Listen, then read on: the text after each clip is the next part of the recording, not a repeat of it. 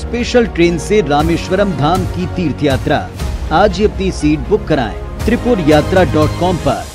मामूली विवाद में एक युवक की हत्या कर दी गई है। तखतपुर थाना क्षेत्र से जुड़ा ये पूरा मामला बताया जा रहा है। तखतपुर थाना के हरदी का ये पूरा मामला है, जहाँ पर एक युवक की हत्या कर दी गई है। वहीं आरोपी युवक को पुलिस ने इस वक्त हिरासत में ले लिया है।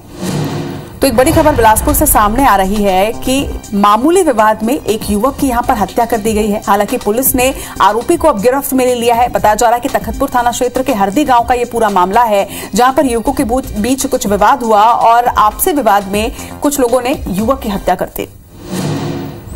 खबर पर ज़्यादा जानकारी के साथ हमारे सहयोगी जितेंद्र थवाइत इस वक्त हमारे साथ जुड़ रहे हैं। जितेंद्र, जिस तरह से पूरा मामला सामने आया है, क्या विवाद था और इस वक्त क्या कुछ अपडेट इस पूरी खबर पर?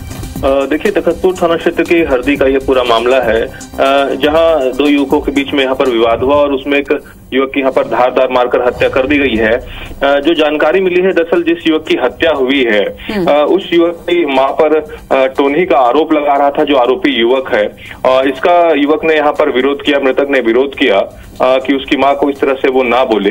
इसी को लेकर विवाद हुआ और जिसके बाद जो आरोपी युवक है उसने तब्बल से मारकर यहाँ पर युवक को मौत के घाट उतार दिया है। हालाँकि घटना के बाद जो है पुलिस ने यहाँ पर आरोपी जो युवक है उसको हिरासत में ले लिया है। पुलिस उससे पूछताछ कर रही है लेकिन प्रारंभिक रूप से जो जानकारी सामने आई है जो मृतक की माँ है, उस पर टोनी का आरोप लगा रहा था जो आरोपी युवक है। और इसका विरोध जो है उसके बेटे को करना यहाँ पर महँगा पड़ा है और उसकी यहाँ पर धारदार मारकर हत्या कर दी गई है। चलिए, तमाम जानकारी के लिए आपका बहुत बहुत शुक्रिया जितेंद्र।